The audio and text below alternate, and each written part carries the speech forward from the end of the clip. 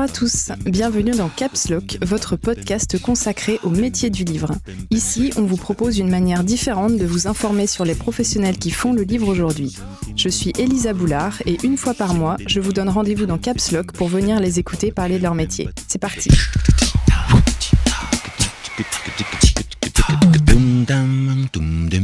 L'industrie du livre a cela de particulier que chaque référence, chaque titre est unique. Une fois écrit, la publication et la mise en marché de chaque nouveau livre demandent du temps, des compétences, des infrastructures, une somme de travail et de patience qui sont incompressibles. Une industrie artisanale, je pense que c'est une bonne manière de définir celle du livre. Une industrie où un livre, un produit, peut mettre plusieurs mois, voire plusieurs années à voir le jour. Mais une fois publié, il peut être commandé, puis livré en moins de 48 heures dans n'importe lequel des 3000 points de vente de livres réguliers ouverts en France métropolitaine. Et si le livre est numérique, alors la publication et la disponibilité en ligne sont quasiment simultanées. Et puisque chaque produit est unique, c'est tout un métier de savoir à quel lecteur il s'adresse et où ce lecteur se trouve. Ce métier, c'est la diffusion, et c'est sur ce maillon de la chaîne du livre que nous allons nous attarder aujourd'hui avec nos invités pour comprendre comment elles la mettent en pratique. L'une a cofondé une entreprise de diffusion numérique et la seconde a piloté la création d'un service entier de diffusion papier au sein d'un groupe éditorial. Émilie Mathieu et Valérie Hernandez, bonjour. Bonjour. Merci à toutes les deux d'avoir accepté de venir dans Caps Lock euh, aujourd'hui. Donc, Émilie, on va commencer par toi. Ça va? Très bien, écoute. Donc, tu es directrice générale et aussi associée chez Identes, une société de diffusion numérique. Tout à fait. Émilie, tu as un profil marketing, et puis tu t'es orientée vers l'édition et la fabrication numérique avant de cofonder Identes il y a six ans avec des personnes issues du monde du livre et notamment des personnes de chez, de chez Brajlon où tu as, où tu as travaillé. Alors, Émilie, est-ce que tu peux nous dire, euh, c'est quoi l'identité d'Identès aujourd'hui? Euh, donc pour la petite histoire, effectivement, moi je viens du marketing à la base euh, et j'ai choisi de, de rentrer dans le monde de l'édition parce que j'avais envie de travailler dans un secteur qui avait du sens pour moi et pas vendre n'importe quoi. Et il se trouve que j'ai toujours lu beaucoup, durant mon adolescence notamment, avec des auteurs comme King ou, ou Barjavel. Euh, et, ça avait du sens pour moi que de rejoindre le monde de l'édition. Donc, euh, donc c'est comme ça que je suis arrivée euh, dans le milieu du livre. Et l'histoire de, de, ma formation est un peu hybride et l'histoire, mon histoire professionnelle aussi, parce qu'en l'occurrence, je suis passée un petit peu par tous les métiers de la chaîne du livre à Grenoble. Et, euh, et j'ai très vite en fait eu une expérience dans le numérique puisque à Grenoble il y a toujours eu un côté très innovant dans leur formation et dans l'accueil, euh, on va dire, des sociétés euh, industrielles au sein de cette de cette commune. Mm-hmm. Après Grenoble, je suis arrivée à Paris et avec déjà un bagage dans la formation numérique. Et mon, mon premier réel emploi était chez Numilog, donc qui était un distributeur numérique. Et euh, en même moment, au même moment de, de, mes premières expériences numériques, euh, c'était en 2009. Mhm. Et il se trouve que l'iBook Store arrivait en France avec euh, l'iPad mhm. et c'était une, une, innovation suffisamment forte pour créer un usage de lecture sur le numérique. Et j'ai rejoint les éditions Brajlon, mhm. euh, pile en 2009, justement, et qui cherchait à développer euh, son activité numérique. Donc, j'ai pu mettre les mains dans le cambouis, on va dire, de la fabrication d'EPUB euh, et de chercher à créer un planning de publication en numérique. Est-ce qu'il fallait tout sortir d'un coup, échelonner les parutions, pourquoi, comment accompagné d'une stratégie commerciale complètement innovante et dynamique pour le secteur mhm. concret conjointement Alain Névan, fondateur des éditions Brajlon, et Alexandre Levasseur, qui est devenu donc euh, mon binôme et mon associé aujourd'hui. Et euh, cette euh, structure, on va dire R&D numérique aux sein des éditions Brajlon, a connu un grand grand succès très très vite. Et on a eu en, plus cette chance d'avoir euh, l'iBook Store qui est arrivé en France avant Amazon mhm, effectivement. Euh, et qui a permis de créer le marché. Et très vite, euh, donc, d'autres éditeurs sont venus nous voir, Alexandre Levasseur et moi-même, pour créer des services qui soient dédiés au livre numérique. Et donc, on a décidé en 2012, donc trois ans plus tard, de créer Identes, une structure complètement dédiée au livre numérique. Et j'ai même envie de dire aujourd'hui au futur du livre, parce que le livre numérique n'est qu'un des segments d'activité qu'on a développé et souhaité développer. Effectivement, ouais, on pourra parler un petit peu plus tard euh, de, euh, du fait que vous avez finalement un peu étendu euh, au fur et à mesure du temps vos, vos, activités de diffusion. Donc merci Émilie. Valérie, c'est à vous. Ça va? Ça va bien, merci, merci. Euh. Alors, euh, Valérie, donc je vous présente. Vous êtes la directrice commerciale de Libella, qui regroupe euh, donc plus d'une dizaine de marques éditoriales, principalement françaises, mais aussi en Suisse et en Pologne, ainsi qu'une librairie, la librairie polonaise qui est située sur le boulevard Saint-Germain à Paris. Donc pour en citer quelques-unes, parmi ces marques éditoriales, Libella compte notamment Buchet-Chastel, Phébus, Les Cahiers dessinés ou Libretto, sa marque de livres de poche. Donc vous-même, vous cumulez 21 ans d'expérience dans le secteur du livre, que vous avez rejoint après une carrière dans l'alimentaire. Dans une autre vie, vous avez travaillé mmh. pendant 9 ans. Dans une première vie, pardon. Euh, effectivement, la différence, alors la différence d'Émilie, euh, moi je ne suis pas entrée en édition comme on rentre en religion. En fait, j'ai suivi, euh, j'avais un métier que j'ai exercé dans l'alimentaire, il s'est trouvé que c'était l'alimentaire, et j'ai continué à l'exercer ailleurs un jour. Et c'est trouvé que c'est ailleurs, c'était une maison d'édition. Je savais pas trop ce que c'était à l'époque l'édition, mais je ne suis pas venue rejoindre le livre. En revanche, j'y suis restée je souhaite y rester pour des raisons qui ne sont pas euh, liées au, marché, aux produits, à une certaine noblesse euh, et à mes goûts et appétence pour la lecture, même si j'en ai, mais qui sont liées à la complexité de la chaîne du livre. C'est ça qui m'intéresse. C'est de voir comment on peut décliner certains métiers qui sont connus. Euh, a priori du grand public ou des lycéens quand ils cherchent une orientation, c'est quelle application on fait de ces métiers-là, comment on les customise, si on peut mhm. utiliser cet anglicisme, mais quelle adaptation on en fait, on en fait euh, sur un nouveau marché.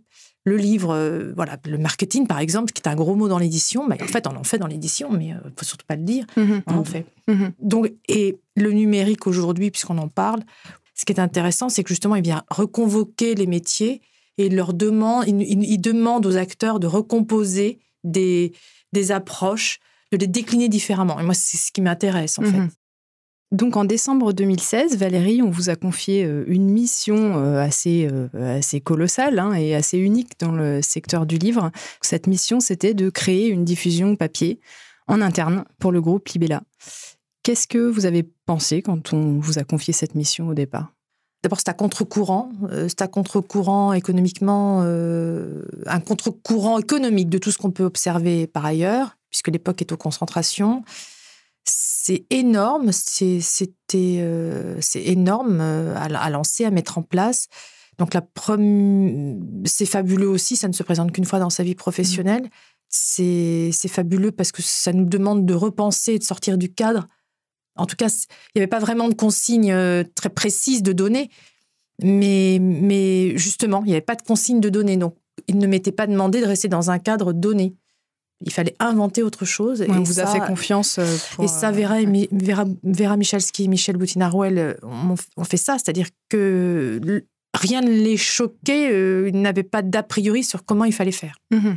Mais vous, vous avez un objectif de résultat. Mhm. Oui, moi je savais, je savais donc euh, charge à moi, charge à moi de définir les moyens dont on avait besoin et de et d'inventer autre chose. Alors modestement dans dans la conception parce que on n'est pas sorti d'un schéma euh, d'un schéma classique finalement, si ce n'est que on a innové quand même puisque alors que toute la diffusion du marché du livre papier euh, fonctionne par niveau de clientèle, nous on s'est dit de toute façon on va aller s'adresser à nos clients. Mhm. Et on va s'organiser pour s'adresser à nos clients. La communauté, non pas euh, des lecteurs de SF, mais la communauté des libraires de Libella. Mhm. Ce qui nous concerne, nous, par rapport à nos catalogues, à notre catalogue musique, à notre catalogue dessin, à notre catalogue euh, de littérature, de littérature de l'Est, notre catalogue photo, etc. C'est-à-dire qu'on est une société, enfin Vera et Michalski possèdent une société d'édition qui s'adresse si ce n'est à des communautés, au moins à des niches. Mhm. Et travailler des niches, y compris en B2B, ça c'est très différent de travailler le grand public. Mm. Et effectivement, l'offre de diffusion sur la place, parisienne, mhm. française, est une offre de, diffusion par nature, multisegment, généraliste. Mhm. Et un éditeur qui publie et qui met en marché des niches voit ses libraires plus ou moins bien traités par cette offre généraliste, Mhm, et particulièrement en physique. Là où le dématérialisé permet de cibler très vite et de façon très souple, en physique, c'est très compliqué. Ouais. Donc effectivement, il s'est agi de, de, de faire du sur-mesure Mhm, et de concevoir du sur- voilà, d'abord de concevoir du sur-mesure. D'accord.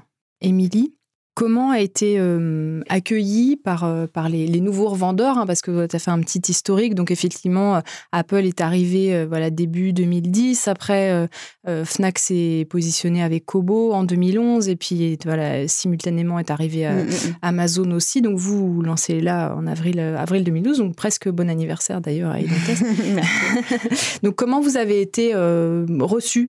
Ça a été extrêmement bien accueilli de la part des, euh, des revendeurs et ça nous a permis assez rapidement et avec une grande euh, liberté de euh, d'inventer beaucoup de choses parce Oui. qu'on était les seuls à l'époque euh, et on est toujours un petit peu les seuls parce qu'on est les seuls euh, diffuseurs réellement spécifiquement sur le marché et c'est vrai que c'est très apprécié de la part des, des revendeurs que d'avoir euh, voilà un petit peu de répondants sur des opérations commerciales, d'avoir de l'innovation sur ce qu'on peut proposer euh, en termes d'animation de catalogue. Mhm. Nous, notre travail, c'est à la fois de présenter des nouveautés aux revendeurs comme n'importe quel diffuseur papier. Donc ça, c'est pour faire un espèce de parallèle avec le Mhm, métier de Valérie. Mais on est un agitateur euh, de fonds de catalogue. Donc euh, nous, on va éviter en fait de, de- de- de laisser le catalogue tomber dans les limbes de l'oubli du, euh, du grand Internet. Euh, et à nous, et c'est là où nos métiers diffèrent, c'est qu'on n'est pas là pour faire de la mise en place, mais on est vraiment là pour euh, aller animer un catalogue en permanence. Et notre outil pour ça, c'est de l'opération commerciale. D'accord. Je ne sais pas si un diffuseur papier, enfin du, du- du physique, euh, est, est là. euh, En tout cas, il était là dans des vies Oui, antérieures ça. pour faire de la mise en place. Il est, il est plus là aujourd'hui pour ça. Pourquoi? Parce que euh, ça été- la mise en place, c'était historiquement un flux physique qui permettait aux libraires et aux éditeurs, enfin aux différents acteurs de la chaîne, de garantir en magasin des quantités suffisantes pour permettre les premiers réassorts et pour couvrir les premiers réapprovisionnements en provenance des distributeurs. Distributeurs achètent Interforum, enfin, les, les stockeurs.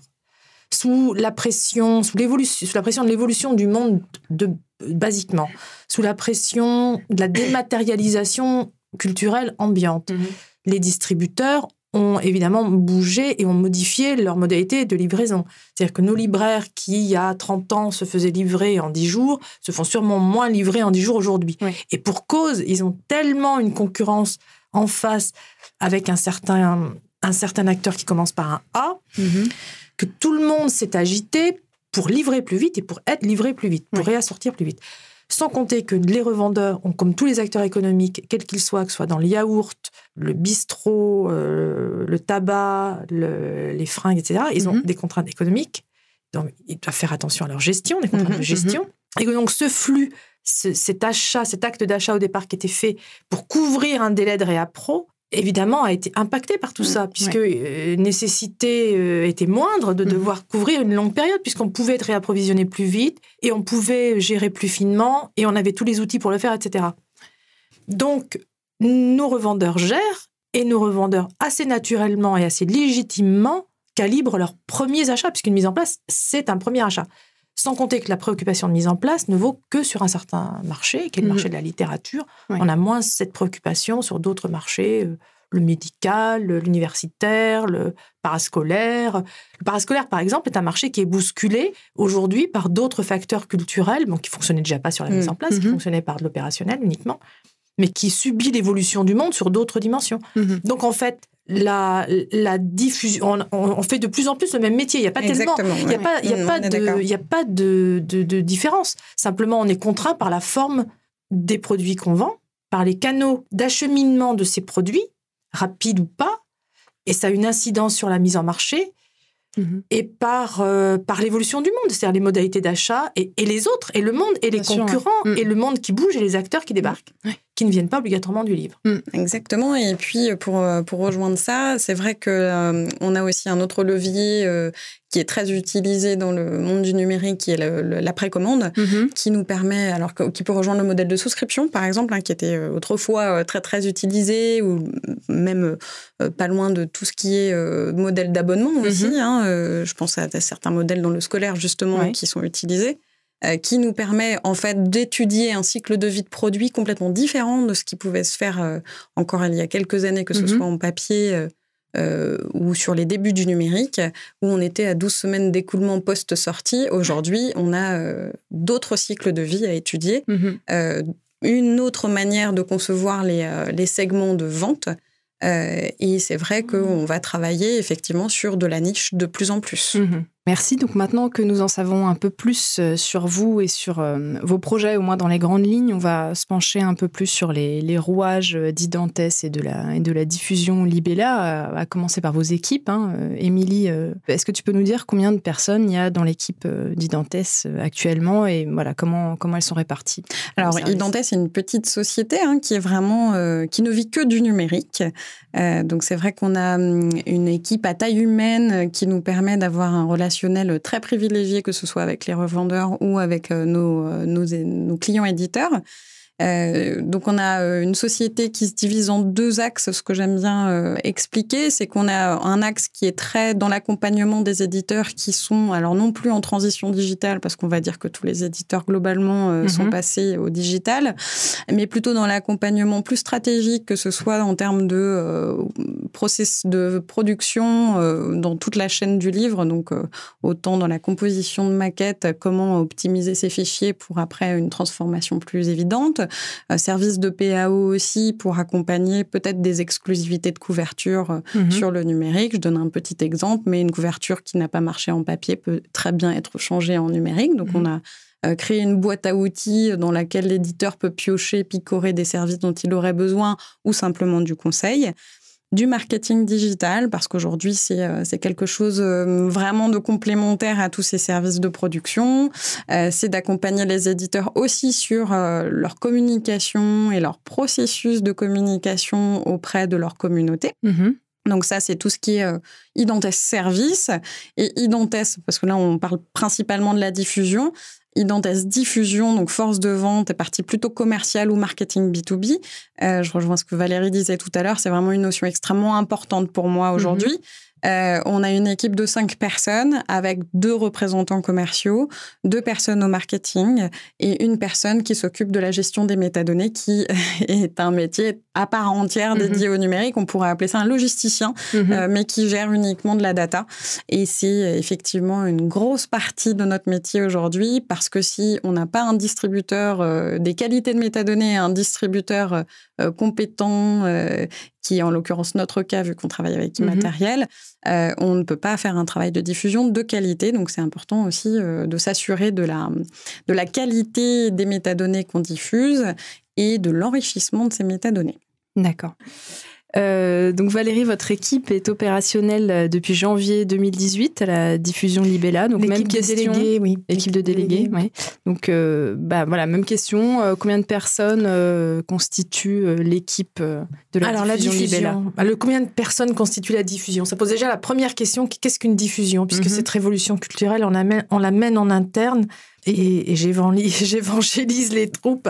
Ce qui se passe, c'est que la, diffusion doit s'entendre d'abord comme un, métier à part entière et qui ne, recouvre pas uniquement le travail de terrain. Quand on dit diffusion, aujourd'hui dans le marché du livre, on entend équipe de vente. Certes, il y a six délégués, mm. il y a donc six délégués et un chef de vente. Mais la diffusion, c'est bien d'autres choses. C'est mhm. effectivement tout ce que vous, vous disiez. Ce sont aussi les deux personnes qui viennent s'ajouter à ces, à ces 6 plus 1, donc à ces 7, personnes. Ce sont aussi deux personnes qui gèrent des relations avec des partenaires, mhm. les distributeurs, les, les fournisseurs de systèmes d'information, les fournisseurs d'informations marché, deux personnes, pour l'ensemble des catalogues de la maison. Mhm.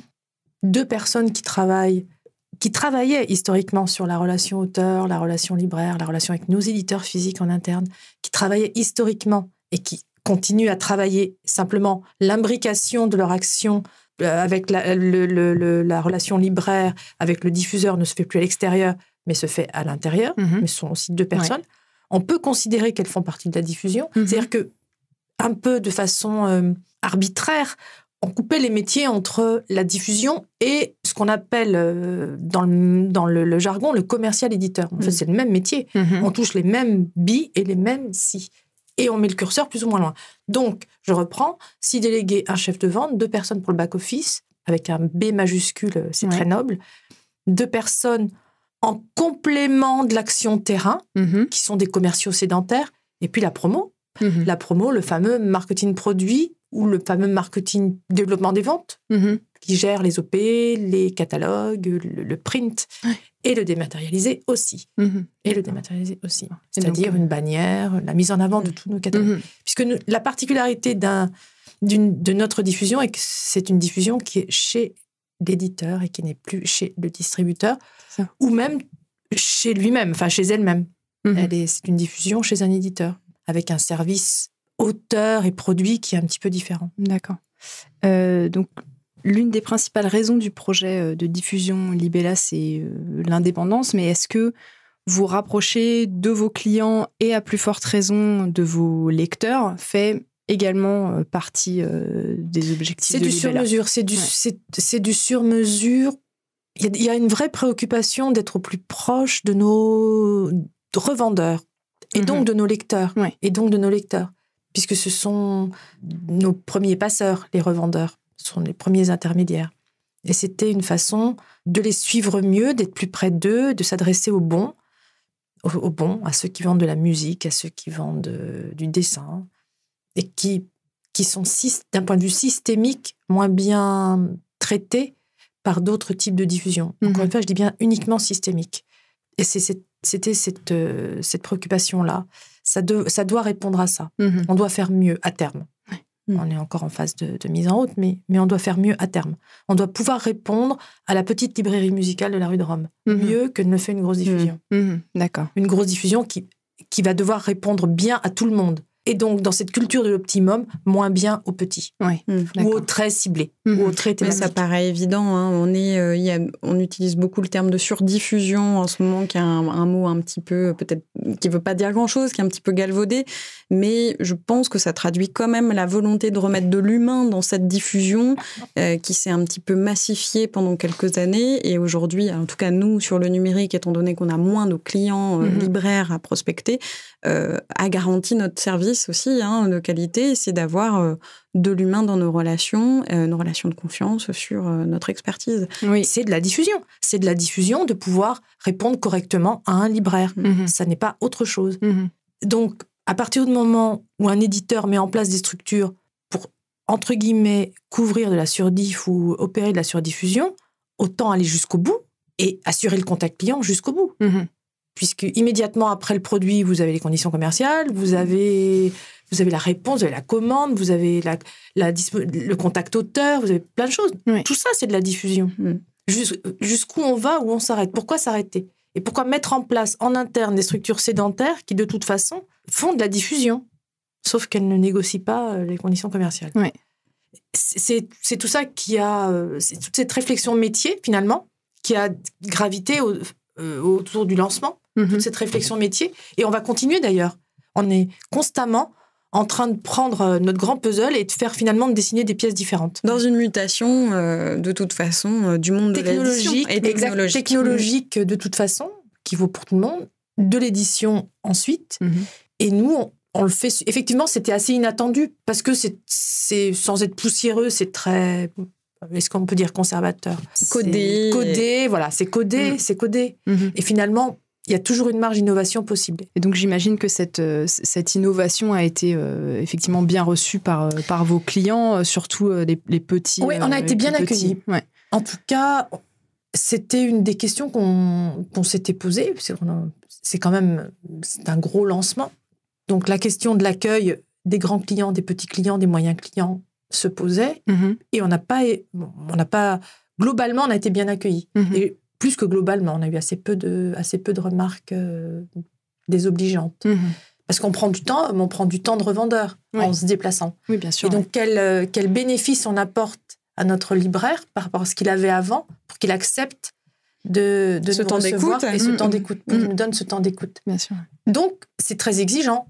On va devoir être meilleur. C'est ce que je répète tous les jours au nouveau chef de vente. Mm. On, on doit être meilleur, sinon il n'y a pas, il y a pas d'intérêt. Bien sûr. Il n'y a pas Ouais, d'intérêt à sûr. faire ça. Et c'est la même chose pour nous, à dire vrai. hein. Euh, Nous, on applique ça à une quinzaine d'éditeurs, mais Mm. c'est vraiment ça. hein. Qu'est-ce Mm. qui fait qu'aujourd'hui, on passe par un- une société spécialisée dans le numérique? Quel est l'intérêt plutôt que de croire à la désintermédiation qu'apporterait le numérique? Mhm. Euh, C'est qu'on doit apporter une expertise, du Ouais. conseil, se remettre en question en permanence, et c'est le challenge euh, qu'on doit tous prendre dans la diffusion. C'est vraiment très tourné client, ce qui est peut-être nouveau dans l'édition. Ah, c'est Ouais, complètement nouveau. Ouais, c'est ouais, là où on rejoint des notions de marketing B2B, où on est euh, B2B, sur c'est du très nouveau dans CRM. L'édition Mhm. L'édition n'était pas rompue à ça. Exactement, on est sur du CRM euh, client libraire Mhm, et ça, bon, euh, ça plaira pas forcément aux libraires qu'on les, qu'on parle d'eux en termes de données et de clients. Et en même temps, c'est dans leur avantage d'essayer de euh, rendre le- le- les rendez-vous euh, qu'on fait avec eux beaucoup plus euh, pertinents, beaucoup plus Mhm. ciblés, euh, euh, beaucoup plus qualitatifs pour eux, parce que notre but à tous est euh, de réussir à placer cet ouvrage dans les mains du bon client. Bien Euh, sûr. De, et- Ouais. ouais, et de pas lui en vendre trop. et de pas lui en vendre Mhm. trop, mais de cibler tout ça beaucoup mieux. Ouais, Et de bien servir sur mesure. quand même, et de bien servir Bien l'auteur sûr. quand même, mais, mais, mais, mais de façon renseignée. Mhm. Mhm. Donc, on met en place un CRM. Donc, Exactement. dans les choses que je fais en ce moment, je mets en place un CRM. Émilie, on enregistre aujourd'hui dans le studio de votre label de livre audio. Tout à fait. Donc, euh, se définir comme un diffuseur de contenu numérique euh, Mm. plutôt que comme un diffuseur de livres numériques, c'est stratégique pour Identes aujourd'hui? Oui, tout à fait. Aujourd'hui, c'est euh, le pari qu'on a pris déjà en 2017. Je dirais même un petit peu plus tôt, puisque notre label de livre audio a commencé en 2015, mais comme un terrain d'expérimentation. Euh, et en 2017, on a réellement fait le choix que de euh, proposer en fait aux éditeurs, toujours dans le milieu du livre bien sûr, de d'être capable de diffuser du contenu dé- dématérialisé, peu importe le format et le support. Donc on a effectivement l'e-book, on a euh, l'audiobook, euh, peut-être que demain on aura de la vidéo, on ne sait pas, mais euh, quoi qu'il en soit, nous on a en face de nous simplement des clients qui deviennent eux libraires multi-supports. Mhm. Donc, nous, on doit s'adapter à cette mutation, qui font des efforts marketing aussi plus mutualisés, qui ont des équipes qui se sont modifiées en face. Donc, on est dans le milieu euh, du virtuel et du digital. On doit, euh, nous, s'adapter à tout ça. Et à dire vrai, c'est, ce sont des challenges extrêmement stimulants, extrêmement créatifs. On n'a pas forcément les mêmes challenges, on va dire, commerciaux et économiques en fonction de la typologie de produit. Mhm. Par contre, en termes de euh, diffusion, on, on a une stratégie globale qui Mhm. commence à, à arriver. D'accord. Alors, on va faire une petite pause et on se retrouve juste après. Avant de continuer notre épisode, je voudrais adresser deux remerciements à ceux qui ont rendu ce podcast possible. D'abord, Seven Switch, la librairie numérique indépendante qui produit Caps Lock. C'est là que je travaille. Sur Seven Switch, on propose des livres numériques compatibles avec tous les écrans, même le Kindle, et on propose également un système d'affiliation qui vous permet de devenir vous-même vendeur de livres numériques auprès de vos amis ou de vos fans et de toucher ainsi une commission sur chaque vente. L'adresse, c'est 7switch.com. Ensuite, je voudrais vous parler de Hardigan, un label de livres audio qui est produit ici à l'endroit où on enregistre ce podcast. Ce sont des professionnels du livre audio et ils mettent à notre disposition leur beau studio et leur expertise. Ils savent très bien raconter des histoires, alors si vous avez envie d'écouter un livre audio en voiture, dans le métro ou dans votre salon pendant que vous tricotez, allez faire un tour sur hardigan.fr. Le premier livre audio est gratuit. Alors Valérie, on va reprendre avec vous. Donc les marques de Libella étaient euh, diffusées par le, par le CDE euh, depuis euh, plusieurs années. Elles le restent toujours en partie pour les grandes surfaces alimentaires et les librairies de niveau 3 il me semble. Mais euh, vous avez donc rapatrié en interne la gestion du noyau dur de vos clients. Donc est-ce que vous pouvez nous dire combien de clients vous avez euh, actuellement et qui sont-ils? En fait, euh, on était diffusé en premier niveau par le CDE, en deuxième niveau par une filiale de Madrigal, exactement, enfin de Mad- Madrigal maintenant, mais de Gallimard historiquement, qui est FED. D'accord. À l'export par Madrigal, et puis, et puis, et puis, et puis, c'est tout. C'est déjà pas mal. On a donc recomposé. Donc la réflexion qu'on a menée, ça a été de dire qui sont nos clients et comment on va s'adresser à eux. Mais d'abord, qui sont nos clients? Qui sont Bien nos sûr. clients revendeurs? Et, et nos clients revendeurs, on les a trouvés en premier niveau, donc en CDE, et on les a trouvés en deuxième niveau chez FED. Mhm. Sachant qu'en deuxième niveau, dans l'édition, chez un gros diffuseur, on retrouve des milliers, des milliers, des milliers de comptes de revendeurs. Donc, on a composé un cœur de clientèle qui euh, est composé d'une grande majorité des clients qu'on trouvait en premier niveau, Mhm. une très grande majorité, et d'une minorité de clients qu'on trouvait en deuxième niveau. Et donc, de fait, on a pris, entre guillemets, les, les fichiers clients, on s'est réorganisé autour des fichiers clients de premier niveau, de deuxième niveau, et aussi d'export. Alors, pourquoi d'export? Parce que l'export, pour nous, c'est majoritairement la Suisse, la Belgique et le Canada.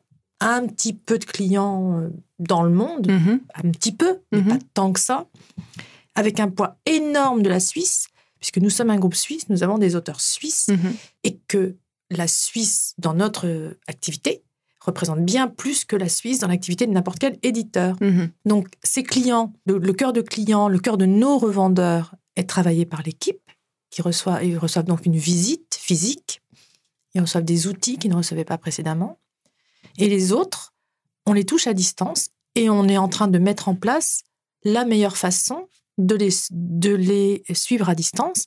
Et ces clients-là sont confiés à la personne dans notre équipe en charge des systèmes d'information, puisque évidemment, ça va passer par la dématérialisation des relations. Mhm. C'est clair que quand on écrit et quand on gère une librairie à Bogota, on la gère pas, de la, on va pas la voir à Bogota, et ça a été notre cas. Mhm. Donc, c'est très lié au système d'information qu'on met en place et à toute l'architecture de partage d'informations Mhm. qu'on est en train de repenser. Donc, on ne peut pas dire qu'on visite les librairies de premier et deuxième niveau. D'ailleurs, en disant ça, on est finalement sur un schéma de pensée que justement, on n'a pas voulu garder. D'accord. visite. Ouais. Des clients importants pour nos catalogues à- et des clients à qui on peut rendre une réponse circonstanciée, appropriée, un service correct. Et tous les autres, on les touche avec plus de support que ceux euh, dont ils pouvaient bénéficier avant. Mhm. des bons de commande illustrés, avec du, vraiment, on fait du sur-mesure. Ça, c'est la culture du- de la société, sur-mesure. Donc, comme les moyens ne sont pas euh, infinis, on est Mhm. obligé de, de dématérialiser un maximum, puisque ça nous permet de toucher Bien sûr. ouais. au maximum du client. Et puis effectivement, la Suisse est à part, c'est un point de contact. On a, on a mis en place des contrats de diffusion-distribution en Suisse, au Canada.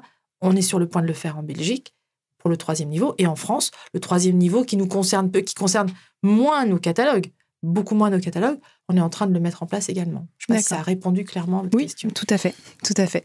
Euh, tout à l'heure, vous avez euh, défini Libella comme un éditeur de niche pluriel. Donc, à travers vos euh, marques éditoriales, vous publiez beaucoup dans des thématiques très spécifiques et assez variées. Ça va de la littérature à la musique, en passant par euh, les loisirs créatifs, le dessin. Donc, est-ce que vous pouvez nous donner euh, de tête quelques exemples de publications ou de collections qui sont vraiment atypiques, qui, paraissent, qui paraissent chez Libella et, Bah, les cahiers dessinés, les cahiers dessinés qui, a d'abord été une collection de dessins au sein de la maison d'édition Bûcher-Chastel et qui a pris son envol à un moment donné euh, et qui est aujourd'hui un éditeur à part entière. Le dessin que moi j'ai vu grossir, hein, que j'ai vu vraiment se développer en neuf ans. Historiquement, Bûcher avait un catalogue musique. Quand Vera l'a racheté, elle a gardé le fonds musique, plus ou moins animé ce fonds musique. Et puis on a une éditrice maintenant depuis quelques années qui s'en occupe et qui publie, qui republie du fond, mais qui publie Mhm. des nouveautés. Et puis, est-ce qu'on peut considérer que Libretto est de la niche? Peut-être pas, mais bon, c'est quand même un lectorat assez captif. Mhm. On est en fait la maison, le groupe d'édition de marché captif, et, et Mhm. on le voit et on le voit bien. Mhm. C'est-à-dire que au Salon du Livre de Paris, nos lecteurs repartent avec des piles de libretto. Oui, ils viennent faire leur stock. Mm. euh, Ils viennent faire leur stock. Mm. C'est vraiment du comportement de communauté. Exactement. On parle beaucoup de communauté dans Caps Lock.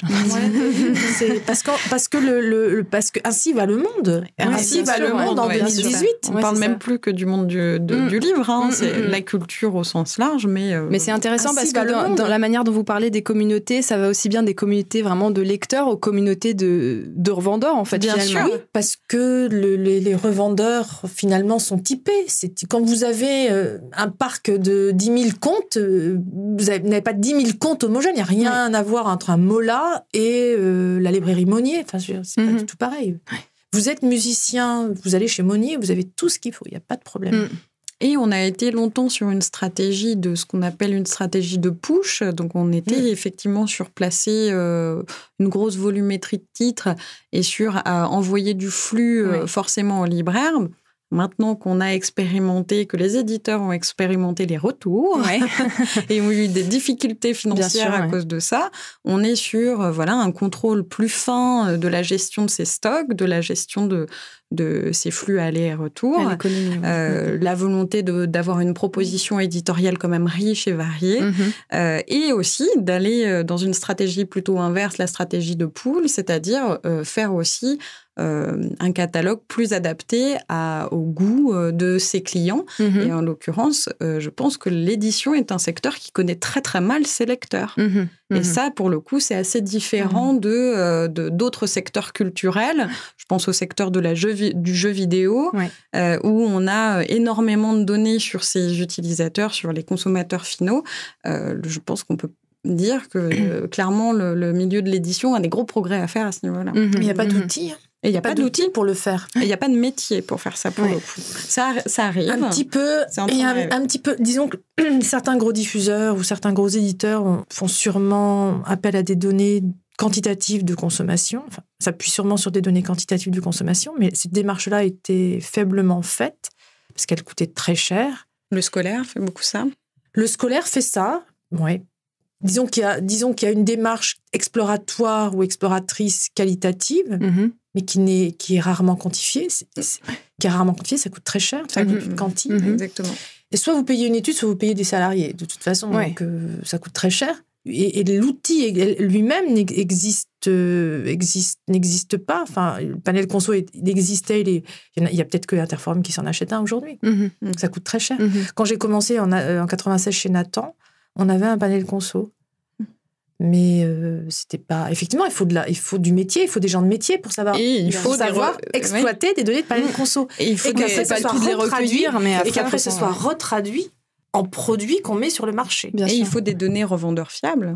Et des données revendeurs fiables. Mm. Euh, Émilie, je rebondis sur ce que tu disais euh, tout à l'heure. Tu disais le fait que maintenant, euh, on peut recueillir des, données depuis les revendeurs pour éventuellement adapter son, catalogue à la, demande, à, la clientèle. Donc, pour vous, Valérie, le fait que la diffusion ne soit plus externalisée, est-ce que ça va ça peut permettre une circulation des informations qui soit moins verticale et euh, permettre voilà plus d'aller-retour par exemple entre entre l'éditorial et la diffusion est-ce que Ça oui, euh, ça oui, je l'espère. Ouais. Je l'espère. Je pense qu'on n'est pas du tout euh, à la hauteur de ce qui est attendu par nos éditeurs en interne, de- parce qu'on vient de commencer. Mais Oui. ça, c'est un des objectifs Mm. que j'ai. mhm. Déjà, au moins de leur expliquer mieux et d'avoir la main sur les retours des revendeurs en direct, leur Ouais. expliquer mieux comment ça fonctionne, comment Amazon fonctionne. Mhm. C'est un des objectifs qu'on doit se fixer, d'être Mm. meilleur là-dessus. D'accord. de mieux comprendre les systèmes des clients. De toute façon, être plus proche de son client, c'est bien le connaître et c'est c'est à la fois mieux le servir et c'est mieux servir le donneur d'ordre, inévitablement. D'accord. Des éditeurs qui l'ont très bien compris, ce sont les éditeurs primo-numériques, Mhm. qui pour nous sont devenus des experts euh, justement de la segmentation de leur euh, offre éditoriale. Donc, Ouais. euh, je rebondis sur ton premier caps lock, euh, Ouais. Elisa, où tu as accueilli deux éditrices de romance. Mm. Euh, c'est vrai que la romance est un secteur extrêmement développé en numérique. Mhm. Euh, et nous, on va avoir de la sous-segmentation. Moi, je parle plus de romance, je parle Ouais. des romances parce qu'on a de la sous-segmentation tellement fine aujourd'hui.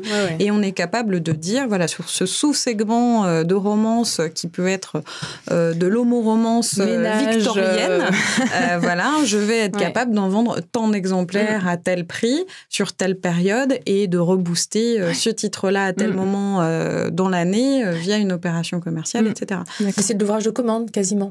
On n'est pas loin de Ouais, ça, ouais. euh, effectivement. Et aujourd'hui. je parle- quand on parlait de niche, bah, chez Bûcher, par exemple, il y a tout un segment de catalogue euh, qui se développe puisqu'il y a une éditrice qui a été nommée pour travailler l'écologie. Alors l'écologie, ça n'est pas un genre, c'est un thème. Mhm. Donc ça peut se décliner, ça pourrait se décliner en littérature, c'est pas le cas. Ouais. Mais on est en essai, on est en pas nous, mais ré- nous on est régulièrement en essai, mais on peut être en, en document, Mhm. on pourrait faire de la jeunesse. Bien Donc, sûr. C'est bien un sûr. thème, pas un genre, mais on s'adresse à une catégorie de clients qui a un fonctionnement parti, enfin, de, je parle de consommateurs, qui a un fonctionnement euh, particulier Mhm. et qui va aller chercher, qui va aller chercher sa nourriture. Dans les panels conso, on parle de taux de nourriture des marques, mais qui va aller chercher son contenu et qui va être dans une autre démarche que le, lecteur de littérature, que le consommateur de littérature. Ça, c'est intéressant. Et là, on va venir vers lui. Et effectivement, on est dans un marché d'offres. Et d'ailleurs, on dit aux libraires, faites des tables, tentez le chaland finalement. Mais c'est exactement ça. Alors que le, consommateur d'écologie, il va aller chercher, il va vouloir aller se nourrir mhm. tout ce qui paraît. Et, le, consommateur de l'autant apprivoisé, de broderie, de machin, il va aller chercher tout ce qui. Donc on est en comportement inverse de consommation. C'est ça. Et donc ça doit avoir une incidence sur la façon dont on construit son catalogue. Bien sûr. Mm dont on pense, dont on réfléchit, dont on projette. c'est ça, c'est qu'aujourd'hui, on va être consumer-centrique. Mhm. On va vraiment mhm. réfléchir ces thématiques, ces genres en fonction de son consommateur final et des données qu'on a à disposition, et aux diffuseurs de tisser le réseau euh, pour accéder à euh, ce consommateur final qui va euh, se balader dans une journée à différents endroits en Paris, province, mhm. va être sur Internet à certaines heures de la journée et nous, effectivement, on va être là pour lui proposer quelque chose euh, de qualifié. C'est-à-dire qu'aujourd'hui, on va avoir du consommateur expert qui va nous rejeter euh, cette publicité mm-hmm. abusive euh, et vécue comme un spam si on le prend à un mauvais moment dans sa journée, à rebrousse-poil, avec un, titre qui tombe complètement à côté, de la plaque. évidemment, cette mm. préoccupation du consommateur, elle est moindre plus l'offre s'adresse a priori et en théorie au plus grand nombre. Mhm. Évidemment, plus on est ciblé, et c'est le cas des romances, plus on est ciblé, plus on doit se préoccuper de son consommateur, puisqu'on est ciblé. Enfin, on cible. Mhm. Quand vous publiez le, Clésio, c'est un peu tout le monde qui est concerné à partir du moment où on sait lire. Effectivement.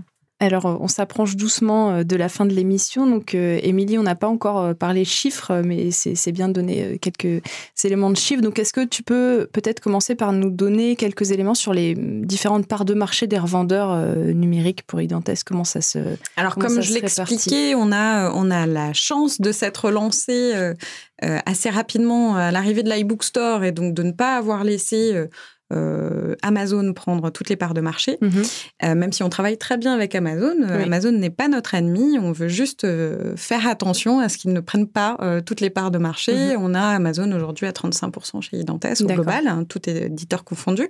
Avec les Big Five qui sont évidemment très importants chez nous et avec un gros, gros travail sur les, sur les libraires indépendants, dont mhm. Seven Switch, qui est loin d'être anodin chez nous et qu'on travaille énormément. Euh, mais je vais penser à Bookin. Après, euh, on va avoir Cultura et Leclerc qui sont des petits euh, mm. points de vente pour nous, mais qu'on travaille très très bien avec qui on essaie d'avoir des partenariats de plus en plus poussés. Mm-hmm. Et qui rejoignent aussi des discussions avec l'éditeur qui prend une place un petit peu centrale entre sa diffusion papier et sa diffusion numérique, parce que nous, effectivement, on travaille avec des, des éditeurs pardon, qui ont décidé d'avoir deux diffusions spécifiques, hein, mm-hmm. une diffusion papier et une diffusion numérique, euh, qui ont décidé de devenir, eux, le pivot euh, de ces négociations commerciales et de ne pas laisser ces négociations commerciales à euh, une seule et même personne. D'accord. Euh, ce qui du coup crée évidemment de la concurrence, mais mm. aussi beaucoup d'émulation autour de, des chiffres d'affaires et des catalogues. Donc mm-hmm. moi, je trouve ça beaucoup plus intéressant. Mm-hmm.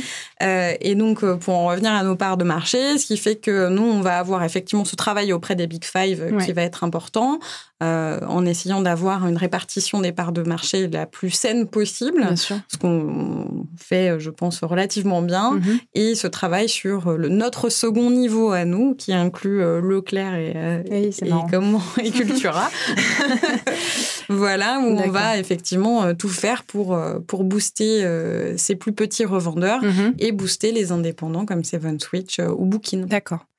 Alors, on a un peu tendance à penser que les promotions et les prix bas sont le levier numéro un pour booster les ventes en numérique, mais quand on regarde les opérations que vous avez mises en place, notamment avec Brajlon, on se rend compte que c'est un petit peu plus compliqué que ça. Euh, donc d'un côté, euh, je résume un peu, vous avez fait la grosse OP, donc qui était une opération euh, spectaculaire où vous aviez chaque jour pendant une semaine une liste de 100 titres qui passaient à 0,99 euros pendant 24 heures, donc sur 500 titres en tout. Et à l'opposé, vous avez également vendu avec Brajlon des coffrets numériques à des intégrales à des prix très élevés. Je pense à l'intégrale de Face notamment qui était à 99 euros, mais je crois que vous êtes même allé au-delà, euh, au-delà de ce prix-là. Donc finalement, finalement, qu'est-ce que représente le prix pour un lecteur euh, euh, de livres numériques aujourd'hui? Alors déjà, qu'est-ce que c'est qu'un livre numérique en fait? Ça, je pense qu'on pourrait déjà se mettre tous d'accord sur, euh, mm. sur ce que ça veut dire. C'est une bonne question. C'est une bonne question. En fait, pour nous, c'est un accès. C'est un accès à un contenu. En aucun cas, un fichier numérique euh, est un produit euh, intéressant, en tout mhm. cas euh, commercialement. On vend un accès à un contenu. Donc la première chose, c'était de réfléchir à combien je suis prêt à vendre cet accès à un contenu pour des typologies de catalogues mhm. différentes, avec un histoire, un historique différent avec des maisons d'édition, des cultures d'entreprise différentes. Donc, il fallait un petit peu réfléchir cette stratégie en fonction de chacun. Euh, on va évidemment pas traiter Brajlon euh, de la même manière que euh, le castor astral avec mhm. qui on travaille, ou plutôt l'inverse. ça n'aurait pas de sens. Mhm. Donc on adapte des opérations commerciales aux catalogues qui, qui sont adéquats pour ça.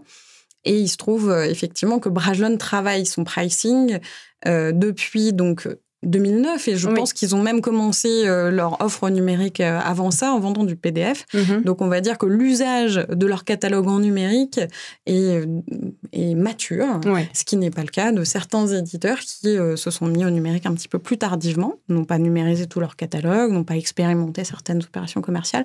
Donc on va pas faire ça au même moment pour mhm. chacun de nos éditeurs. Euh, et en plus de ça, nous, pour être tout à fait transparent, on a un prix moyen, euh, tout éditeur confondu, euh, qui est à peu près autour de 8-9 euros. Mhm. donc ça veut bien dire ce que ça veut dire. Hein. Ça, ça, vous rappellera peut-être un autre format d'exploitation du livre. Mm. c'est effectivement le format peut-être qu'on peut juger concurrent de, du livre numérique. C'est le format poche, hein, je parle de ça. Et euh, nous, notre but n'est pas de vendre à 0,99. Hein, on mm. ne vivrait pas, on n'aurait pas de société identesse et on n'aurait pas de taux de commission suffisamment mm. important euh, pour recréer. Il n'y aurait pas de switch, on ne pourrait pas vivre. Donc, ce mm. n'est pas dans notre intérêt de, de, brader le prix euh, d'un livre comme j'ai pu le lire ou l'entendre à moult reprises dans ma vie numérique mais plutôt de trouver le juste prix euh, pour la bonne exploitation au bon moment. Donc nous, on a une petite phrase chez Identes qui résume bien ce qu'on fait depuis toutes ces années. C'est le bon livre pour le bon lecteur via le bon canal. Et on a des curseurs, on en parlait avec Valérie tout à l'heure, qui sont importants pour nous, qui vont être effectivement le prix, mais qui vont être aussi le temps. Euh, de ce prix, puisqu'on a l'avantage en numérique de pouvoir euh, faire bouger le prix d'un livre sur un même EAN. Mmh, mmh. Et ça, c'est vrai qu'on en joue beaucoup avec ça. C'est mmh. une chance qui permet de dynamiser euh, grandement le marché. D'éviter effectivement ce qu'on disait tout à l'heure, une chute du chiffre d'affaires après les semaines d'exploitation naturelle post-sortie. Donc on va pouvoir jouer là-dessus. On va pouvoir jouer aussi sur le prix en période de précommande. Donc, on a vraiment un cycle de vie de produit totalement différent. Et on étudie ça finement. Il n'y a aucune opération commerciale qui est lancée sans être analysée, préparée, paramétrée, anticipée, avec des projections. Aujourd'hui, on peut faire des projections avec les données, notre expérience, euh, notre expérience marché euh, et les tendances à venir euh, qu'on anticipe, bien évidemment. Euh, voilà, donc la grosse OP pour Brajlon, c'est quand même 150 euh, 000 exemplaires euh, qui ont été distribués dans la nature. Mhm. en termes d'objectifs, c'est une, c'est une opération de recrutement. Donc l'objectif très clair demandé par l'éditeur était de créer une, une opération qui permette d'aller conquérir de nouveaux lecteurs. évidemment, avec 150 000 exemplaires, même si ça, ne fait pas 150 000 lecteurs, mais on mhm. peut imaginer euh, combien de lecteurs ont eu euh, un titre des éditions Brajlon et Milady euh, entre leurs mains à ce moment-là? Donc c'est mm. intéressant. Mm. Et c'est une opération de recrutement non pas uniquement à destination de l'éditeur, mm. et ça c'est tout notre travail, ça a été de mobiliser les revendeurs.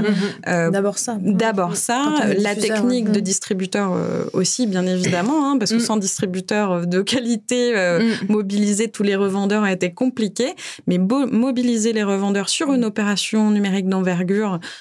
euh, c'est quelque chose d'assez compliqué. Donc, ça montre toute la confiance qu'on a réussi à bâtir avec eux.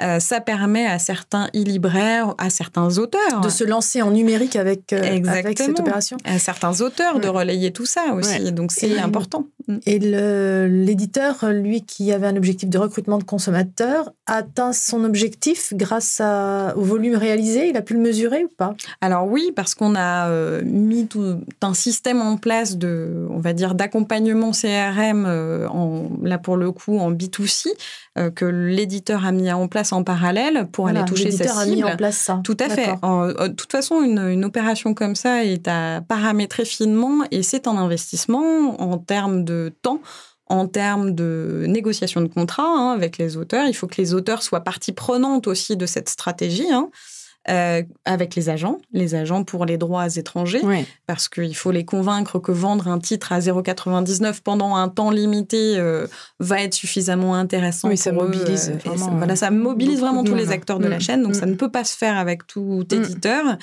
Et ça ne peut pas se faire n'importe comment. On est là pour mesurer euh, des données à la fin mm. qui vont être réutilisées derrière avec une promesse euh, aussi au lecteur qui est faite de dire bah, vous nous suivez depuis tant d'années en numérique, on a un événement pour vous mhm. parce que vous nous avez fait confiance. Euh, donc Valérie, on n'a pas encore parlé de, numérique pour Libella. Donc qu'est-ce que qu'est-ce que représente le livre numérique pour pour Libella? Quantitativement, oui. on a un catalogue d'un peu plus de 500 titres maintenant. Mm-hmm. Et on a, on numérise, je crois, je crois pouvoir dire systématiquement toutes nos nouveautés mm-hmm. dès lors qu'on n'a pas de blocage contractuel. Donc c'est rentré dans les mœurs, ouais. sans problème. On a numérisé une, une, partie du fond. Donc on se heurte pour le fond, c'est-à-dire pour les, les ouvrages d'avant 2011, puisqu'on s'est lancé sur ce marché en, en, fin 2011. On se heurte à des difficultés techniques mhm. sérisation, numérisation, mhm. de, de, création, de réalisation du fichier, qui de technique passerait rapidement à des, à des dimensions pécuniaires, mhm. puisque évidemment, euh, quand on passe euh, une feuille de parchemin à un fichier numérique, ça coûte un peu cher. Ça peut coûter cher, surtout quand on, on a au catalogue plusieurs milliers de références. Ça représente, alors sur l'ensemble de notre chiffre d'affaires, enfin l'ensemble du chiffre d'affaires du groupe, 3% à peu près du chiffre et, mhm. sur, euh, et sur un périmètre numérisé, on est, on est sur 6 euh, points hein, aujourd'hui. Mhm. Mhm. C'est pas mal. Hein. c'est pas négligeable. C'est tout à fait en ligne avec la nature de nos catalogues. C'est-à-dire que plus la, la clientèle de consommateurs est captive, plus elle est typée, plus elle consomme et plus et, et, donc elle consomme quel que soit le support. Oui, c'est ça.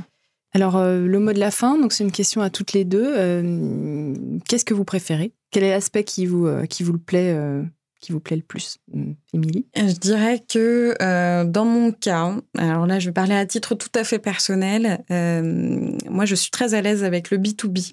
Mmh et euh, j'aime être euh, en contact avec les éditeurs qui me racontent leur histoire. Je m'empare très bien des problématiques des éditeurs et je passerai des heures à les écouter de me parler de leur rencontre d'auteurs et, et euh, pourquoi ils ont choisi tel et tel titre. Donc je suis tout à fait à l'aise avec ça. Et cette, cette passion pour défendre les titres euh, auprès des, des, points de vente hein, pour trouver euh, pour, la débrouillardise en mhm. fait et le goût de l'aventure que d'aller euh, chercher à, à vendre le titre, à le mettre en avant le mieux possible. ça, c'est quelque chose qui me, qui me fait complètement vibrer et qui me donne envie de me battre au quotidien, on va dire, sans compter l'équipe formidable avec laquelle je travaille. Donc Valérie, vous aviez dit un petit peu tout à l'heure que vous aimiez bien la complexité. Oui, moi j'aime bien la complexité. moi, c'est tout le système, c'est de, mm. de voir tout ça bouger et finalement d'adapter, non pas des recettes, mais des, de décliner un métier différemment. Mm. C'est ce que je trouve d'ailleurs assez, euh, assez intéressant dans. Je ne sais pas si on peut parler de révolution numérique parce que ça commence à dater maintenant. non, on ne parle plus de révolution. En tout cas, dans, dans, ce que ça, ça oblige de bouger, c'est-à-dire que, tout, tout ce que tous ces nouveaux formats, toutes ces, toutes ces, technologies, on va pas dire ces nouvelles technologies, mais qui obligent à repenser des métiers. Et donc, moi, ce qui m'intéresse, c'est vraiment les systèmes globaux.